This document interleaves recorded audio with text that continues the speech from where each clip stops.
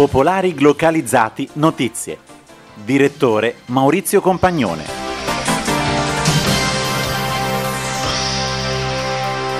Buongiorno dalla redazione, giovedì 11 dicembre, Hong Kong in apertura. Sono cominciate le operazioni di sgombero dell'ultimo presidio dei manifestanti pro-democrazia che da due mesi hanno dato vita all'occupazione delle strade del centro. Un deputato dell'opposizione ha negato il fallimento della protesta, sostenendo che il movimento ha portato ad un nuovo livello il progresso politico dell'ex colonia britannica. I manifestanti chiedono da due mesi maggiore democrazia in vista delle prossime elezioni elezioni presidenziali nel 2017.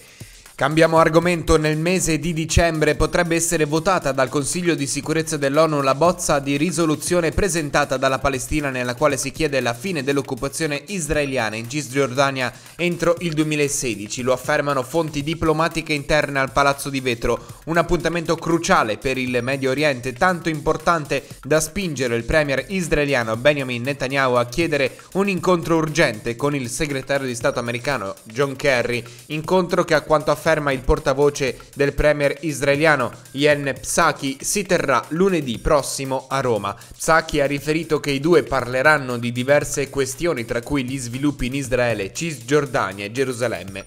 Continuano le reazioni internazionali alla pubblicazione del rapporto sulle pratiche di interrogatorio della CIA ai detenuti accusati di terrorismo nel post 11 settembre. Per rappresaglia i jihadisti indicano obiettivi ben precisi da colpire, lo scrive Site, il sito di monitoraggio dell'attività online dei gruppi dell'estremismo islamico. In messaggi web diversi i jihadisti incitano ad usare nei confronti degli ostaggi dell'ISIS gli stessi metodi utilizzati dalla CIA.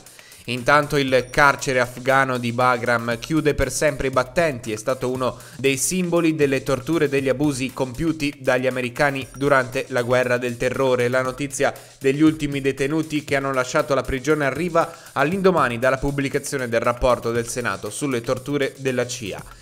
La lotta all'ISIS, il governo del Kurdistan iracheno ha riferito che oltre 700 peshmerga kurdi sono stati uccisi dall'inizio dell'offensiva dello Stato islamico in Iraq. I combattenti rimasti feriti sono invece 3564.